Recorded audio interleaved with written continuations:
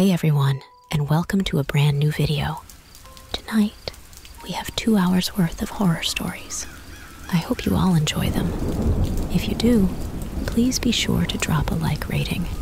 Subscribing if you are new is also very much appreciated.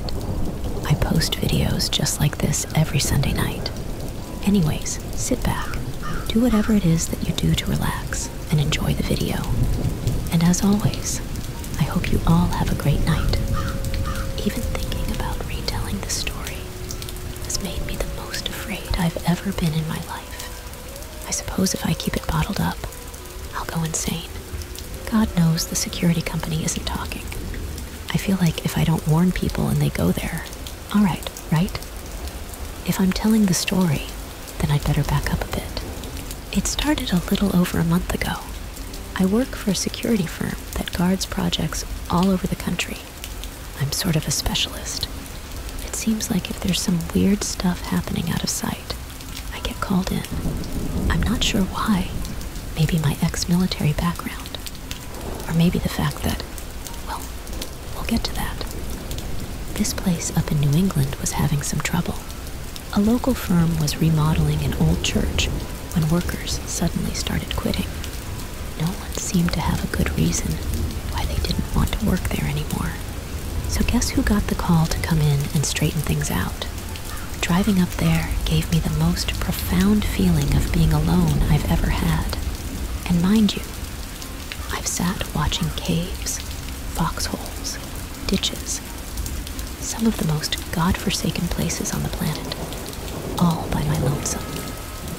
And never did I feel as soul-crushingly alone as driving up that little two-lane road that was the only sign of humanity as the trees seemed to close in on me from every side. As unnerving as that was, it was nothing compared to pulling into the little town where the church was. It was like the nightmare scene from a B horror movie, I guess. Arriving at night in the middle of a rainstorm didn't help. I pulled in beside the only vehicle I saw and ran inside the hotel that looked like a saloon out of an old western. I barely got the door closed until there was a light and a gun shoved in my face. Who the hell are you? said a man from somewhere behind the glare of a flashlight. Jones, I said, slowly raising my hands. I was called in to help out with your worker problem. The light lowered, but the gun stayed. What company do you work for? Sentinel Security, I said. I saw the man relax a little, but mostly I was happy that he lowered his gun. In the best of times, a gun in a situation is less than ideal. All kinds of accidents can happen. I've seen many innocent bystanders fall victim to contagious gunfire. The man stepped over to a table and sat as I looked around the room. I was surprised at how much it looked like a movie set from an old western, right down to the lit lanterns on the tables and hanging from the rafters. He beckoned me over, and I sat across from him. Judging by the welcome, I'm guessing the workers aren't the only ones who are spooked, I said. He looked at the gun, then laid it on the table. He seemed to be in his 40s or 50s, but there was a tiredness in his eyes. He looked weary and haggard. Truth be told, I'm not even sure a gun would do any good. Maybe you should tell me when the trouble started, he said, looking at me with worry tugging at his eyes. Your contract's open, right? I nodded which means you have to finish the job, or you don't get paid, right? I nodded again. He looked me over for a long moment, then sat back, drained his glass of amber colored liquid, and sighed. I bought this town a while back, he started, recently with the passing of my wife, and I decided I needed to throw myself into a project to keep me busy. I wanted to revitalize this town and turn it into a tourist attraction. I'm sorry for your loss. He nodded in recognition, but never said another word about her. Things were going along smoothly, he said. The buildings you see have all been restored. They look good. You should have seen them when we started, he scoffed. They were falling apart. No one had lived here for years. That's why I was able to buy the whole place for next to nothing. I'm thinking that's not the only reason, I said. Yes, he said, as a haunted look passed through his eyes. We saved the church for last because it needed the most work. But once they started remodeling is when things began to happen. Things? I asked. It wasn't much at first. Shovels and saws would go missing. Tools would be left in fine order at night, only to be in complete disarray in the morning. For a while, the workers blamed each other, saying there was a prankster among them. But that wasn't the case. Oh, how I wish it was, he said, his voice trailing off. I waited for a long moment for him to continue. We found the first body shortly after that. He said so quietly, I barely heard him. Of a worker? I asked. He nodded. Dead, he nodded again. Why didn't you stop everything and leave? I asked. Because it was already too late, he said. We had disturbed it. Disturbed what? I pressed. He opened his mouth as if to speak, but no words came out. He shook his head and looked away. For a moment, I could swear I saw a tear run down his cheek. I'm sorry, he said, rubbing his palms on his face. Let me take you to your room, and we'll discuss this further in the morning. My curiosity wanted him to finish the story, but it seemed like his weariness had been amplified by alcohol. I followed him as he carried the lantern up the stairs to the first door and opened it for me. He handed me the light and told me the bathroom was across the hall if I needed it. I'll be here bright and early in the morning to give you the tour, he said, sounding more like a host. Aren't you staying here tonight? I asked. His eyes flashed genuine fear. Not here, he said. I'll be back in the morning. I looked around the comfortable looking room, trying to decide what was so wrong with it as he stepped to the door. Oh, by the way, he said, stopping at the doorway. Don't bother with your cell phone. There's no signal up here. I glanced down at my phone, and when I looked up, he was gone. I picked up the lantern and stepped to the doorway. But I didn't hear him leaving. You would have thought someone walking out on a hardwood floor would make some noise, but it was silent. The only noise I heard was the rain pelting against the windows. Since I was already in the hallway, I decided to check out the bathroom. I walked a short distance down the hall and found it to be functional and clean, but nothing extraordinary. While I was there, I used the toilet and washed my hands, then went back to my room to get my toiletries kit to brush my teeth. Carrying a lantern around was a little disconcerting. I've had to deal without electricity many times before, that wasn't what was bothering me. The shadows from the lamp danced all over, giving the impression of others in the room with me. It's strange because I've never had that feeling before. Shadows were always just shadows. I was trained to be cautious of who could be hiding in the shadows, not the shadows themselves. I finished up my bedtime routine and settled into sleep. There wasn't much of anything else to do, so might as well get some rest. One of the things I was taught early on in my career was that any time you get a chance to rest, you never know when the next chance will come. I laid down on the comfortable bed and did some relaxation exercises. Before I knew it, I was asleep. I woke with a start, not knowing why it was pitch black in the room. Instead of panicking, I touched my watch to illuminate it and found my phone. Turning on the flashlight, and lighting the the lamp helped me to get my bearings, but still didn't tell me why I was awake.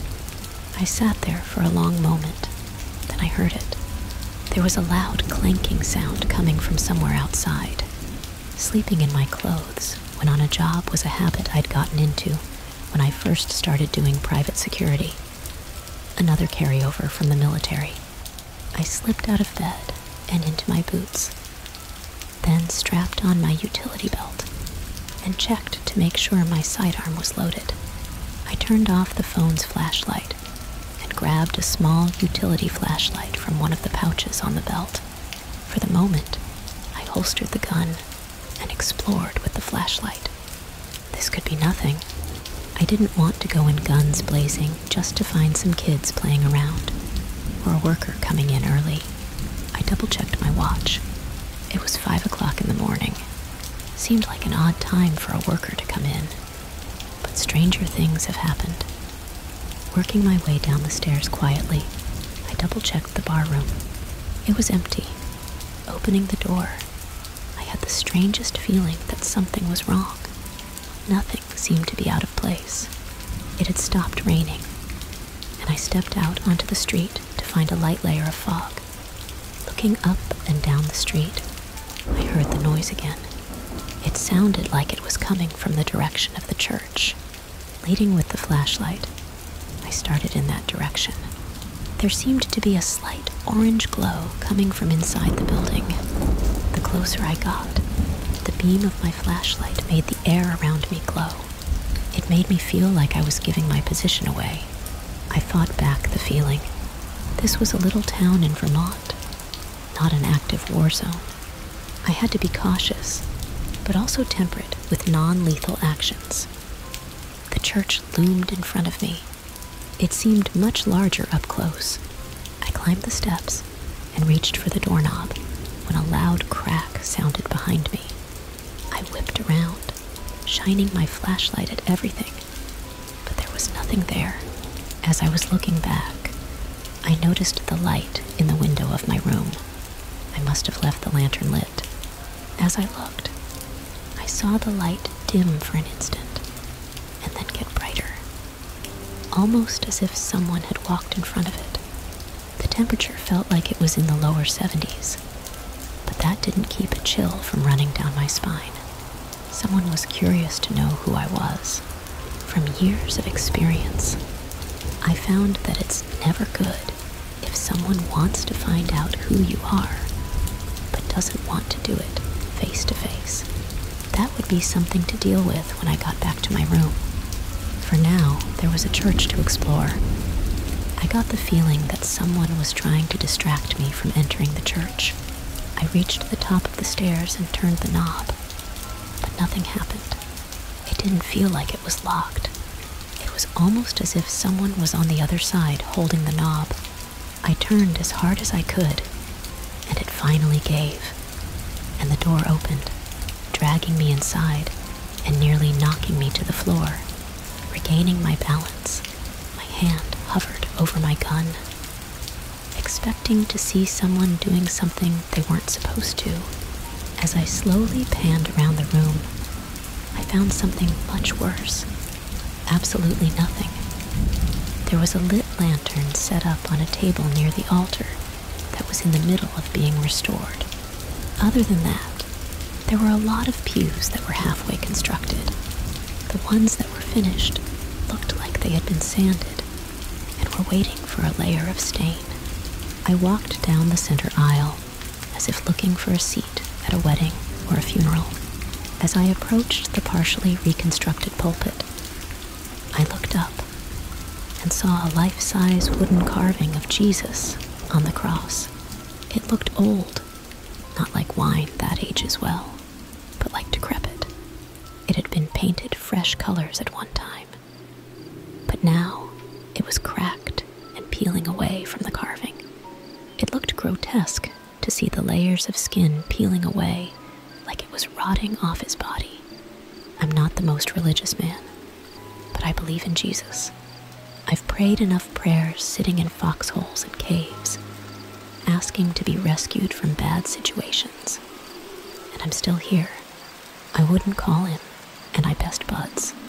I know our relationship could be closer, but seeing him that way, rotting to pieces, was just disturbing. As I looked into his face, I swore I saw his eyes open for an instant. I blinked my own eyes to be sure I was seeing right, but when I looked again, they were closed. It was my imagination playing tricks on me. At least, that's what I told myself as I stepped onto the platform and looked around. Off to each side were doors. I went to the one to the right and found a small broom closet. The one on the left held a set of stairs that went down and disappeared into darkness. Just inside the door, there was yellow and black caution tape blocking the way down. I shone the light on the stairs, and they looked sturdy enough.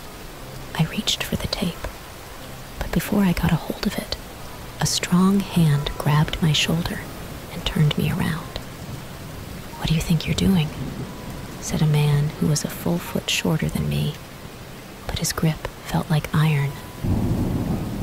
I was about to go down those stairs, I said. Son, he looked at me with the incredulous look a parent gave a toddler who was reaching for a hot stove. And you didn't see the caution tape, he said. I saw it, I replied. Who are you anyway? I've never seen you before, he asked. Jones, I said, offering my hand. I'm with Sentinel Security. I was called to investigate why workers keep quitting. He looked at my hand, then at me. So, this investigation includes ignoring obvious warnings. My hand was still extended, but had yet to be shaken. I let it fall back to my side. Are you a worker or a foreman? He scoffed. Nothing so formal. I make sure people do what needs to be done. So, Foreman. His eyes bled with suspicion as he stared at me. Where did you say you were from again? As I was about to answer, more workers entered, followed by the owner I'd met last night. Let's ask the boss if he knows you, the foreman said smugly. The owner locked eyes with me and gave me the strangest look as he walked up to us. Good morning, he said, addressing both of us. Good morning, sir, the foreman said. I caught this man snooping around in here. Did you know? he said. Is that true? The owner interrupted. I wasn't snooping, I was investigating, I said. Remember our conversation last night? His eyes opened a hair wider for an instant, then went back to normal. Of course I do, he said, with a smile that seemed forced. Remind me again, my memory isn't the best, he said. We met in the saloon, talked for a little bit, and then you showed me to my room, indeed, he said, with a raised eyebrow. Did I say anything else? You told me you bought this place after your wife passed away, and problems started after you found the first dead worker, I said with alarm. Dead? The foreman said with alarm. When did this happen? The owner burst into laughter. It appears Mr. Jones here has pulled a fast one on you, he said to the foreman. Perhaps he and I should go and discuss the matter in private and you can continue with your work. The owner grabbed my arm and guided me away from the foreman, whose eyes burned as they followed us out the door. We walked out of the church in silence as he nodded to workers who were straggling in to start for the day. He led me back to the saloon, and we sat at the same table as before. So, you and I met in this saloon last night, he said at this very table, he said. Hi, he said. I came to the door, and you pulled a gun on me. His eyebrows raised. Did I? No, and what time was this? he asked. I'd say around nine o'clock. We sat here and talked about what was going on with the workers, I said. And what else did I say other than about the worker? He asked. I asked why you hadn't left, and you said it was too late, I said. This time, he didn't try to hide it. His eyes grew wide, and he stared at me for a long moment, then seemed to gather himself. I apologize, Mr. Jones, if this all seems a little strange, he said. You and I did not have a conversation last night. It was my turn to raise my eyebrows. At nine o'clock last night, I was in bed with my very much alive wife, he said. But you said, and we have not had any workers die, he interrupted. I don't understand. Neither do I, I said, thinking about it for a long moment. You were drinking when you talked to me. Is it possible you were too drunk to remember? He leaned a little closer. I haven't had a drink in 19 years, he said, reaching into his pocket and setting a coin on the table. I picked it up and looked at it. It was an AA coin. Then who did I talk to last night? I asked. He put the coin back in his pocket. Are you sure it was me who was drinking? he asked, looking up at me with suspicion in his eyes. I don't drink, I said, meeting his gaze. He leaned back in his chair. It seems we've reached an impasse, he said. Perhaps I should call your company and have a different person come and investigate the matter. I wanted to find out what was going on, I said. Perhaps you should give me at least a day to investigate, my son. Unless there's some other reason you don't want me to get to the bottom of this, I said, smiling. But it wasn't friendly. Please continue your investigation, Mr. Jones, he said, unimpeded. I will inform the foreman to allow you free rein. Thank you, I said, standing to leave. Just collapsed to the ground, his form twisting and dissolving into a black, oily substance that seeped into the earth. The room fell into an eerie silence, broken only by the sound of my racing heartbeat. I stood there for a moment, trying to process what had just happened. The weight of the situation began to settle on my shoulders, but I pushed it aside. There was still work to be done. I turned and quickly made my way back through the tunnel, my senses on high alert. As I emerged from the church, I found the foreman waiting for me, his expression a mixture of concern and disbelief. What happened in there? he asked, his voice trembling slightly. I took a deep breath, trying to steady myself. It's taken care of, I replied, my tone leaving no room for further questions. We need to get everyone out of here. Now.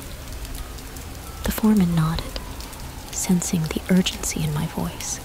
Together, we hurried back to the town, rallying the workers and instructing them to pack up their belongings. As we made our way out, I couldn't shake the feeling of unease that lingered in the air. Once we were safely away from the church, I called the authorities and informed them of what had transpired. I knew they would need to conduct a thorough investigation.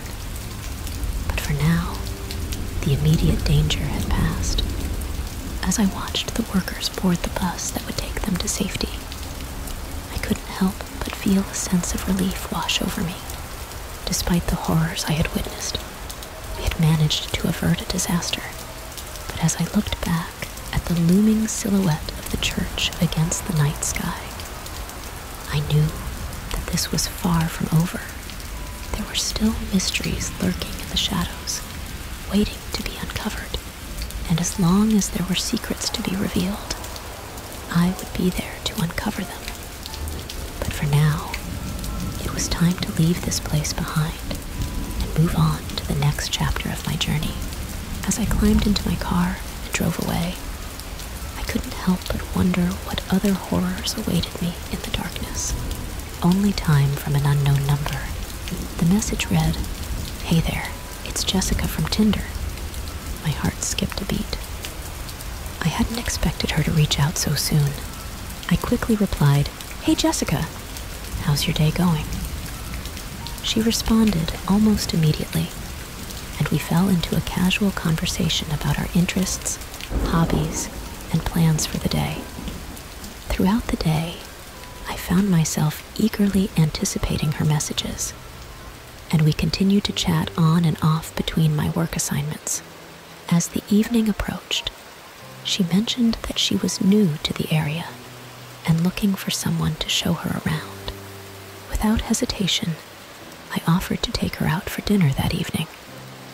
We agreed to meet at a local restaurant, and as I waited nervously at the table, I couldn't help but feel a sense of excitement mixed with apprehension. What if she wasn't who she claimed to be? What if this was all just a prank or worse, a trap? But as soon as she walked through the door, any doubts I had vanished. Jessica was even more beautiful in person. With a warm smile and a friendly demeanor that immediately put me at ease, we spent the evening chatting and laughing over dinner. And as the night wore on, it felt like we had known each other for much longer than just a day. After dinner, we took a stroll through the city streets, lost in conversation and enjoying each other's company. Eventually, we found ourselves standing in front of a small park, bathed in the soft glow of the streetlights above. It was then that Jessica turned to me with a shy smile and asked if she could see me again. I couldn't hide my own smile as I nodded eagerly, feeling a surge of happiness that I hadn't felt in a long time. And as we parted ways that night, I knew that I had found something special in Jessica, something worth holding on to. In the days and weeks that followed, Jessica and I continued to spend time together, getting to know each other better with each passing day. She brought joy and excitement into my life in a way that I hadn't thought possible. And I found myself falling for her more deeply with each moment we shared. But amidst the happiness and newfound love, there was always a lingering sense of unease, a feeling that something wasn't quite right. Couldn't shake the feeling that there was more to Jessica than met the eye, that there were secrets hidden beneath her charming exterior. Yet, despite my doubts and suspicions, I chose to ignore them, to bury them deep down, and focus on the happiness that Jessica brought into my life. After all, everyone has their secrets, right? And as long as Jessica was by my side, felt like I could handle whatever came our way. Little did I know, the truth would soon come crashing down around me, shattering the illusion of happiness and forever changing the course of my life. But that's a story for another time. A tale of love, betrayal, and the darkness that lies within us all. Normal. After that, my dad got back from his business trip. Didn't really have much to tell him. We went back to our normal routine a few more days had gone by, and the Ellsworths still hadn't returned. I thought this was odd, considering they had been gone for over a week. At this point, I asked my dad if we could go check on them, but he brushed it off and said they were probably just enjoying their vacation. I agreed, couldn't shake the feeling that something wasn't right. It was a warm summer evening. I was sitting in my room playing video games when I heard a knock on the door. I got up and went downstairs, expecting to see my dad. But when I opened the door, I was met with two police officers standing on our porch. They asked if they could come in and speak with me. I was confused, but I let them in. They sat down at the kitchen table and asked me if I knew anything about the Ellsworth family. I told them about the conversation my dad and I had about them being on vacation. But the officers looked concerned. They explained to me that the Ellsworths had been reported missing by their neighbors, and they were trying to gather any information they could. Felt a sinking feeling in my stomach as they asked me more questions about the family. I told them everything I knew about them and even mentioned the strange footsteps I had heard coming from their house a few nights earlier. The officers thanked me for my cooperation and told me to let them know if I remembered anything else before they left. I was worried about the Ellsworths and hoped they would be found safe and sound. The next day, my dad and I went over to the Ellsworths' house to see if we could find any clues about what had happened to them.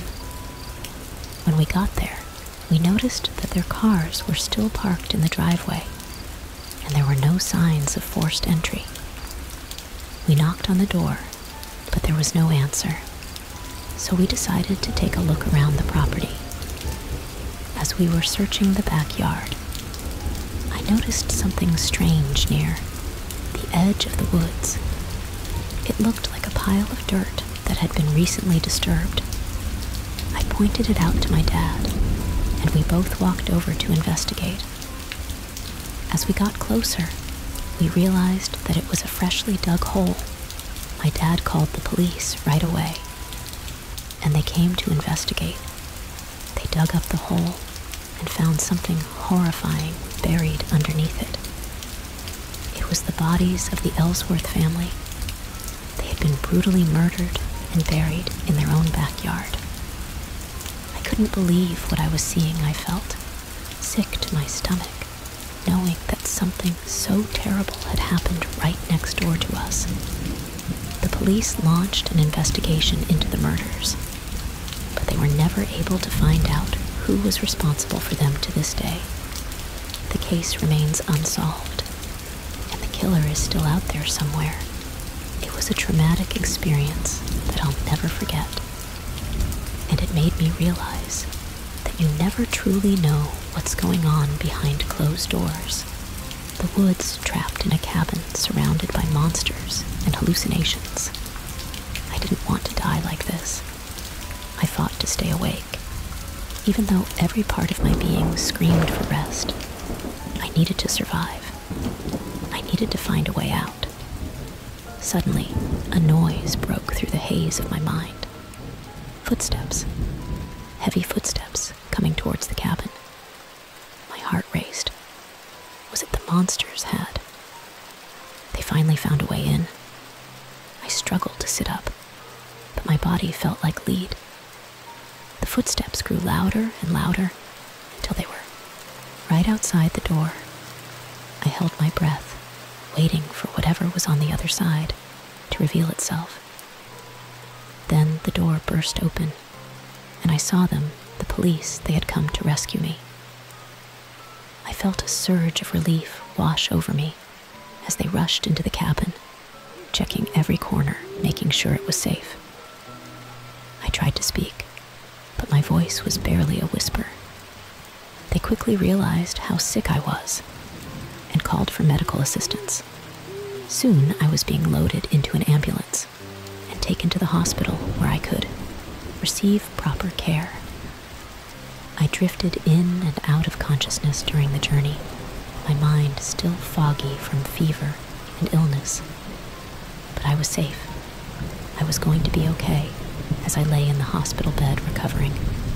I couldn't help but wonder what had happened in those woods. Who were those monsters? And why were they after me? I may never know the answers to those questions. But one thing was for certain I was alive, and I was going to make sure I stayed that way, no matter what it took. Nowhere did I even like cabins, so why did I come here? I could have read all those books at home. Another banging noise woke me. This time, it was different. I also smelled smoke but I didn't remember the last time I got up to add to the fire. A burst of energy came to my body as I stood up, trying to understand what was happening. To my horror, I saw smoke pouring through the shutters. I quickly realized the cabin was on fire. The flames hadn't reached inside yet. But if I didn't get out soon, I would die from the smoke. I coughed, the air quickly becoming dense. I started to make my way to the front door, but then my body stopped. For some reason, I couldn't control my actions. A groaning sound came from the walls. It almost sounded like a scream. Tears stung my eyes as I was forced to watch my body move away from freedom. I ended up in the kitchen. Someone else was there. It was hard to see her full features because of the thick air. She was coughing as well. Come on, you'll die in here, she shouted. The back door had been busted open. She held a large hammer in her hand, showing how she'd gotten in. I took a few steps closer, but my hand moved on its own. In one swift motion, I grabbed a knife off the counter and attacked her with it. She backed up, but still sliced a deep cut across her left eye. I wanted to stop. I didn't want to hurt her. Blood flowed from her wound onto the floor.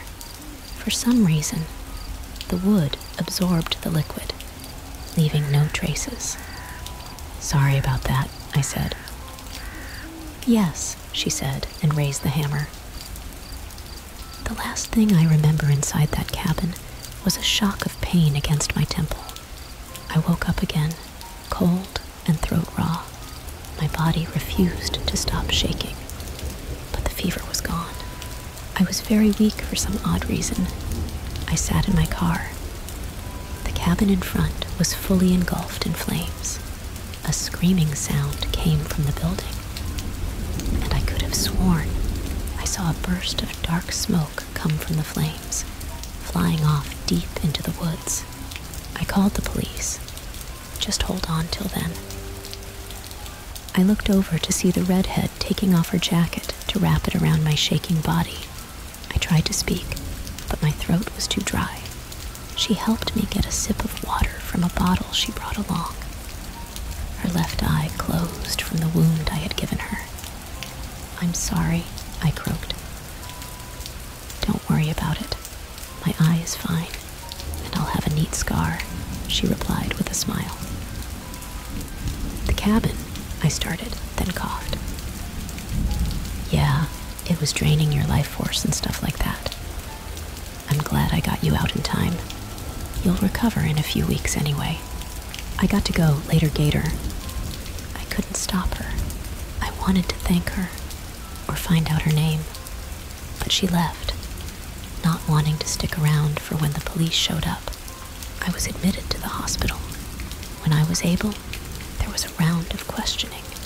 I didn't have a lot of answers. There was a shell of a burned down cabin, but there hadn't been any registered in the area. The road that led to the cabin disappeared before the police showed up. It was a miracle they got through the woods to find me. I said I had rented the cabin through an online ad, but there hadn't been any charge on my credit card, and I couldn't find the ad again, I explained. They were puzzled, but lacked any clues to go forward. I've heard whispers that people had started to disappear inside those woods a few years ago. Two bodies had been found inside the shell of a house that should not have been in the forest. They had been within walking distance of a town. No one understood why they let themselves starve to death inside an abandoned home. I needed a few weeks off work to recover. At least my boss was good about it. I was thankful I had lived through the worst vacation anyone could ever take. But not having answers bothered me. I really wanted to thank that strange girl who saved me. I wanted to tell my story, mostly to warn others. There was something unnatural lurking off in the forest. There are some dark things in this world, and there are some decent people too. Let's hope you never come across darkness without some light appearing to guide your way out. I looked down at the creaky basement stairs, trailing off into a void of darkness. I tried to swallow, but my throat wouldn't let me. My grandmom's house was mostly a pleasant place to me. All except the basement, that is. The basement was old and smelled of mildew and dust. The stairs leading down were the wooden ones that had gaps behind each stair, which only amplified the feeling that when you walked down, something would grab you from underneath. There were three singular lights down there that had to be turned on with pull cords, so you had to go down into the near complete darkness to turn them on. I stood at the top of the stairs, my childhood imagination running wild with thoughts of monsters in the darkness. I knew I had to go down. Both my grandparents were disabled, so it had to be me to bring up the things from the freezer my grandmom needed. I knew the very real risk of one of them injuring themselves down there greatly outweighed my fear of things that lurk in the dark. I took a deep, shaky breath and ran down the stairs as fast as I could and sprinted towards the first light. Click! The dim light buzzed softly with electricity as it came to life. It only illuminated about a four feet circle around me.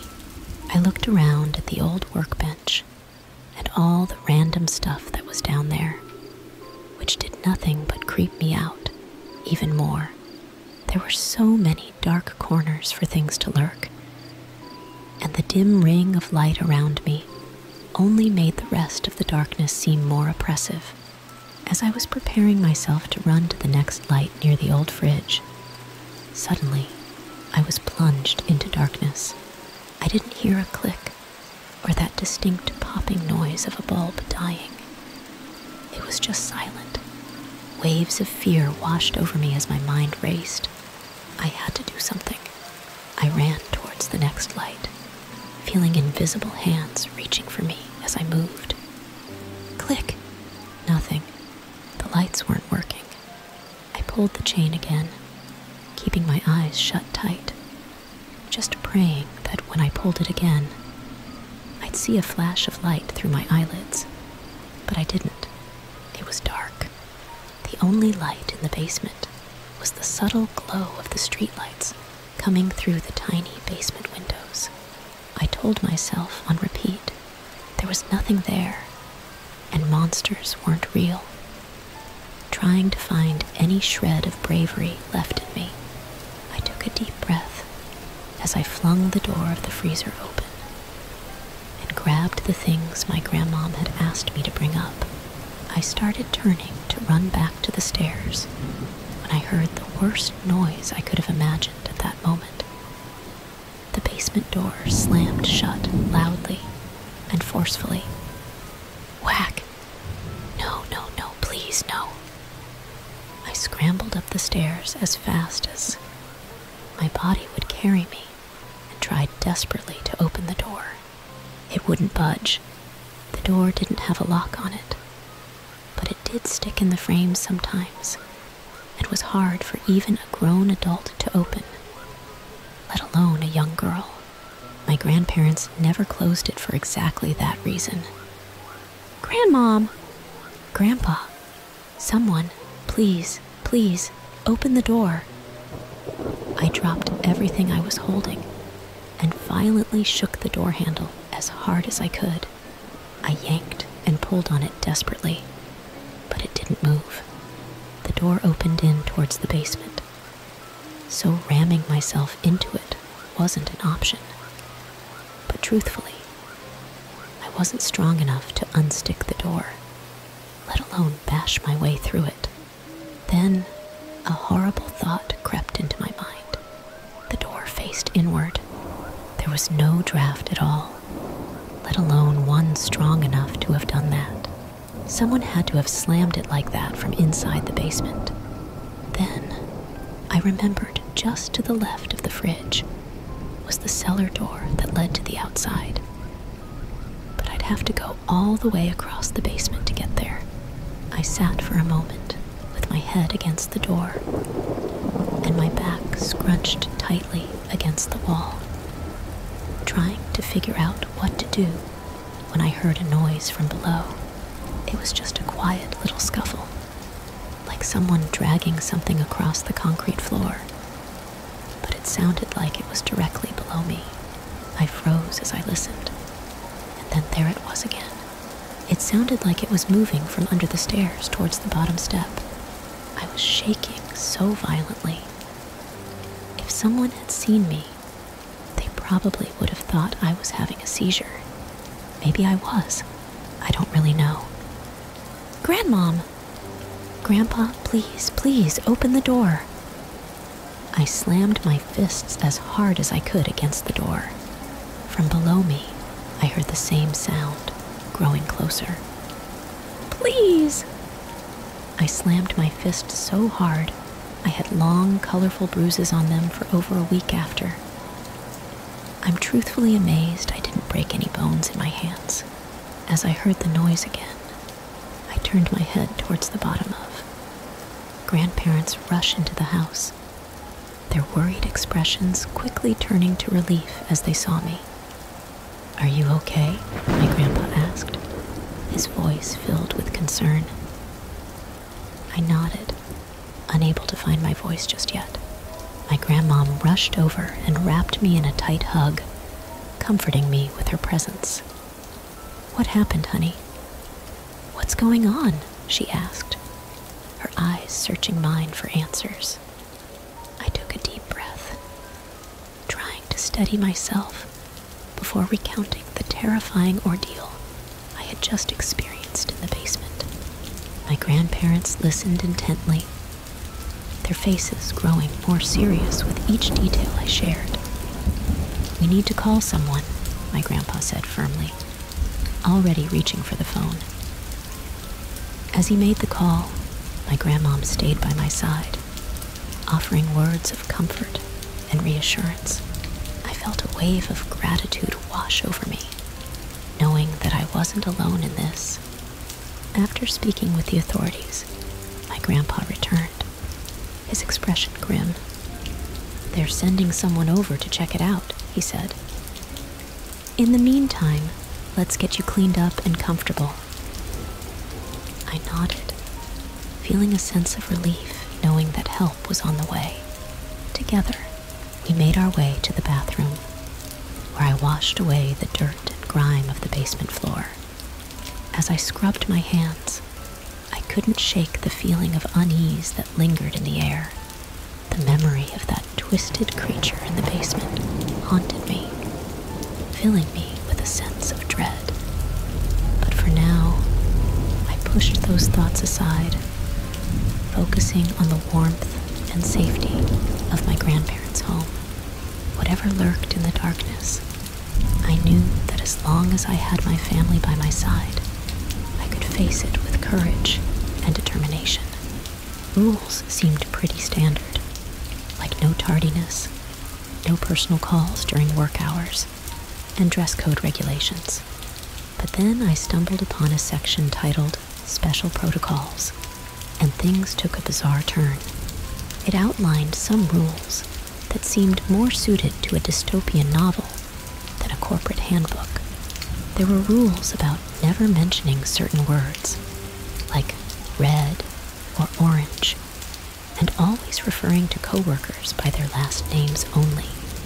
There were also strict guidelines for reporting any unusual behavior or sightings in the workplace, with dire consequences for failing to comply. I couldn't shake the feeling of unease that crept over me as I read through the pages.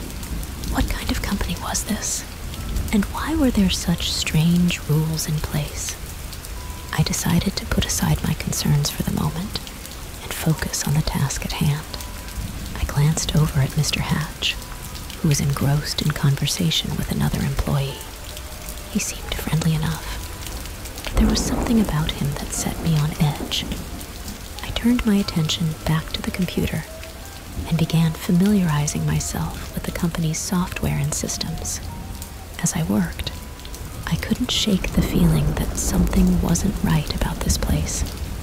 But for now, I pushed aside my doubts and focused on doing my job to the best of my ability. After all, I needed this job to pay the bills, and I couldn't afford to let anything get in the way of that. Per year, that's when it hit me. This company was not just strange, it was downright sinister. The rules weren't just about maintaining a productive workplace, they were about control and fear, and the consequences for breaking them were far more severe than I could have imagined. As I sat at my desk, my mind raced with questions. What kind of place was this? And how had I ended up working here? I knew I needed to get out, but I also knew it wouldn't be easy. With rules like no quitting and no whistleblowing, the company had effectively trapped its employees in a web of fear and manipulation. But I refused to be a pawn in their twisted game any longer. I needed to find a way to escape, break free from this nightmare of a job. As I carefully plotted my next move, I couldn't help but feel a sense of determination rising within me. No matter what it took, I was going to find a way out of this hellish place and expose the truth about what was really going on behind closed doors. But for now, I had to bide my time, playing by their rules while secretly working towards my freedom. And with each passing day, my resolve only grew stronger. One way or another, I was going to break free from the clutches of this twisted company and reclaim my life. Blind spot. I felt the impact before I heard it. Metal crunching glass shattering, and then darkness. I woke up in the hospital, my head throbbing and my body aching all over the doctors told me I was lucky to be alive, that I had a concussion and some broken ribs, but nothing too serious. They kept me for observation overnight, and I was discharged the next day. But as I lay in bed recovering, I couldn't shake the feeling of unease that lingered in the back of my mind. It wasn't just the accident that bothered me, it was the timing. The intersection of 1st and 28th Street on the 128th day of the year. It felt like more than just a coincidence. It felt like a pattern, a pattern that I couldn't ignore as I lay in bed. I started to research. I scoured the internet for any information on accidents at that intersection on that day, but I found nothing. It was as if the accident never happened, but I knew it did. I remembered the sound of metal crunching and the sensation of glass shattering. I remembered the pain and the fear that had gripped me in those moments. But if there was no record of the accident, then what had happened to me? I couldn't shake the feeling that something was wrong, that there was more to this than met the eye. But try as I might, I couldn't find any answers. I was left with more questions than when I started, and a growing sense of dread that I couldn't shake. But I refused to let fear consume me. I refused to be paralyzed by the unknown.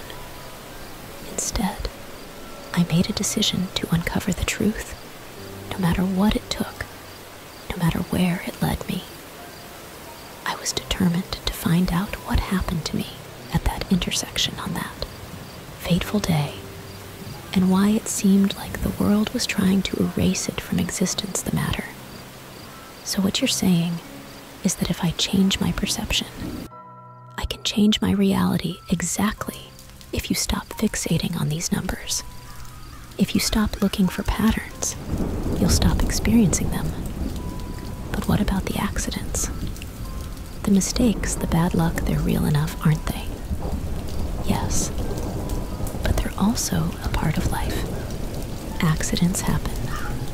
Mistakes are made, bad luck strikes. But when you attribute them to some larger pattern, some cosmic conspiracy, you give them power over you. You become a victim of your own perception. Instead of taking control of your reality, you let it control you. But what about Dad's room number? What about the accident? It's all a coincidence. It's all in your mind. You're giving meaning to random events because you want to believe there's some greater purpose, some hidden meaning behind it all. But the truth is, there is no hidden meaning. There is no grand design. There's just life messy, unpredictable, and sometimes unfair. But it's also beautiful and full of possibilities you choose to see them. So, what do you say? Are you ready to let go of this obsession with numbers and take control of your life again? I took a deep breath and let his words sink in. He was right. I had been letting these numbers control me, dictate my actions, and determine my fate. But no more from now on. I would live my life on my own terms. Embrace the chaos and uncertainty and find beauty in the randomness of it all, because that's what life is all about, isn't it? Not knowing what's around the corner, but facing it head on with courage and determination. I thanked my brother for his wise words and hung up the phone with a newfound sense of clarity was ready to face whatever the universe had in store for me. And this time, I would do it on my own terms. Reality has to originate inside your head, or so I suggested. You just made it easier for it to find me. As I stared at my phone, a pop up alerted me that the 49ers had won by a landslide score of 1 to 28. My weather app notified me that it was raining again, coming up on 1.28 inches of rain. I had a missed robocall from 1285-553-647. I was still staring at the screen when lightning split the sky into a freak accident. That's what the news outlets called it. Fox did an article about it. You might still be able to find it floating around the internet somewhere. They called me the girl who lived through lightning, but that's not really true. Lightning didn't hit me, it hit the roof, cracking the house open like an egg and spilling singed shingles all over the front lawn. I knew I couldn't stop coincidence. I couldn't avoid the manifestation of this thing, this entity, any more than I could stop the march of time. But I could try. My brother was right. If I didn't know when the door was open, couldn't come in to greet me. I destroyed all the clocks in the house, defaced too many books to count, and burnt the offending pages. Then I booked a last minute flight to somewhere I was unlikely to find a clock or license plate. There are precious few of those places left. I should probably explain why I'm writing this at this moment. I'm sitting on the plane as it descends through the dense black clouds. Thank God for in flight Wi Fi, or what could very well be my last words would be lost. I'm scared. I feel the vice enclosing me, an incredible pressure building. We're finally breaking our holding pattern. Well, it's circled in the sky, waiting for the storm to clear. A flight that was supposed to touch down well before midnight on the 27th of January altered its arrival date the 28th of January. We're approaching 12,800 feet, and I can't stop staring at the little screen in front of me, announcing the latest update to our flight details. Our estimated landing time is 128. Wish me luck, please.